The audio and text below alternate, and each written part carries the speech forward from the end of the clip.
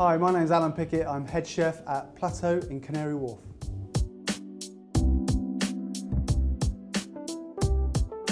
So today I'm going to show you how to cook lamb mince. And with the mince you can make a shepherd's pie or you can serve it with rice or even a fresh pasta. So into a medium to hot pan, some olive oil, just going to take that off.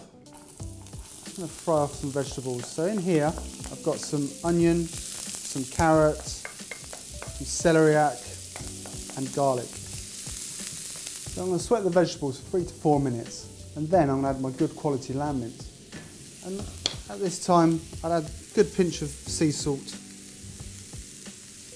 If you're buying good quality lamb mince you shouldn't have too much fat in it. So when you start to cook it you won't have all of that fat splitting out. Just add in our, our lamb mince.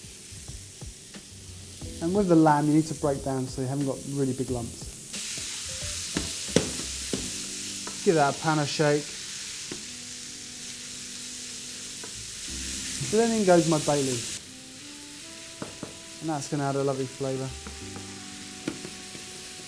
So next, add your tomato puree. I really like sprinkling of flour before you start cooking it out.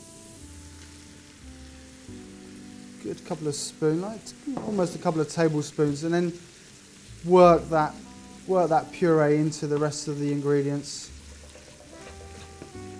Once that starts to warm up, that'll break down quite nicely. There's any bigger lumps of lamb that you can still see.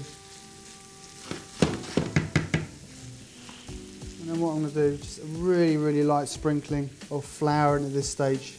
We want the flour to be cooked out by the time we actually serve the sauce, so It'll take a good half an hour. We've not added much and that just, that just thickens the sauce nicely. So here I have a lamb stock. I'm just add that into the, into the mince. And then I'm going to cook it out for about 20 minutes. I can see that thickening up quite nicely there. Once the stock's in, we need to cook it out for about 20 minutes, very, very, very slowly. And now that's ready, I'm going to serve it up. And there you go, that's how to cook lamb mince.